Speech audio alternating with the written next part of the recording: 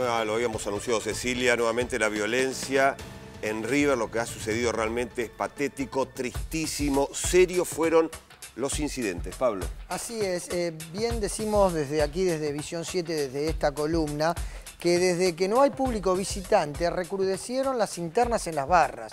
Bueno, lamentablemente, fecha tras fecha, en River Plate ocurría lo mismo que ocurre en otros estadios, en otros clubes, en otros escenarios donde la gravedad en esta situación se torna cada vez más difícil de controlar. ¿Por qué? Porque desde la tribuna Cibor y la Centenario se venían insultando. Ahora es muy grave la situación porque irrumpieron esta tarde un centenar de barras en la confitería del club, donde hay familias, jugadores de inferiores de fútbol, jugadores de otras disciplinas, familiares que están esperando a los chicos, alumnos del Instituto River Plate. En el medio, una bataola, armas blancas, apuñalados. Realmente algo increíble, vidrios rotos, volaron sillas, mesas. Bueno, la interna es tremenda, la de River. Y a 48 horas del Superclásico en este mismo escenario preocupa. El partido a nivel internacional es muy difícil que no se juegue. Para mí no tiene modificación. Ahora, algo se va a tener que implementar en estas horas o una situación especial con el tema del público, no sé de qué manera y de qué forma, si eh, con un eh, derecho de admisión, con eh, tribunas populares vacías. No sé, realmente no se me ocurre nada, pero algo va a pasar. Es decir, Pablo, lo que vos estás diciendo, que los protagonistas de estos serios incidentes en River van a estar el jueves adentro de la cancha. Sí, ya lo dijo Donofrio.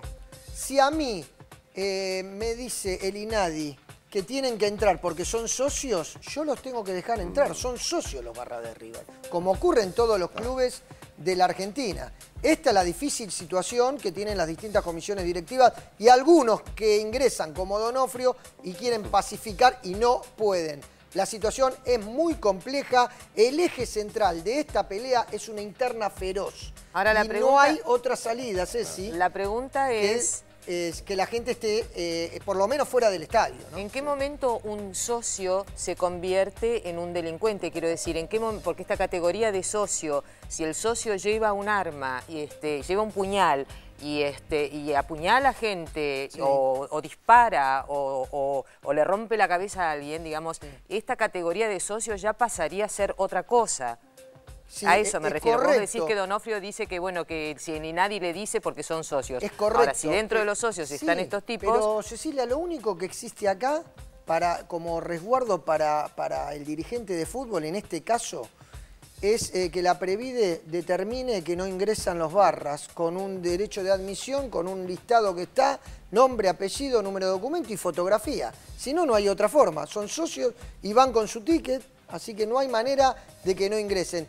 Eh, si te parece bien, vamos a observar lo que ocurrió esta tarde y además los testimonios claves de una situación difícil, la violencia en el fútbol que no cesa. Hubo apuñalados, sangre y los niños vieron todo. ¿La de los chicos que estaban adentro? Una crisis de nervio que me la tengo que llevar urgente a casa. Siempre está lleno de chicos, cientos de chicos hay. Los cientos chicos estaban saliendo de clases, ¿no? Los chicos estaban merendando en la confitería. ¿Había muchos chicos en la confitería? Por supuesto, como todos los días. Exactamente. Porque empezaron a llegar WhatsApp de que los chicos estaban ahí adentro y que cerraron todo y que estaban corriendo a la confitería con crisis de nervios. Nosotros estábamos eh, en ese momento en la confitería cuando irrumpieron unos 100, 120 eh, inadaptados, en su mayoría encapuchados, e ingresaron a lo que es la confitería del club, a los gritos, a dónde están, dónde están, dónde están. Ingresaron por las dos puertas laterales que tiene la confitería y de un grupo de la derecha gritaban dónde están. Y de este sector gritaban, no, acá no hay nadie, acá no hay nadie. Bueno, se trenzaron con algún hincha o con algún socio, vaya uno a saber, que lo terminaron lastimando, lo terminaron golpeando, rompiendo algunos vidrios y, volando eh, todas las sillas y mesas que estaban a su alcance. La verdad que fue una situación muy triste.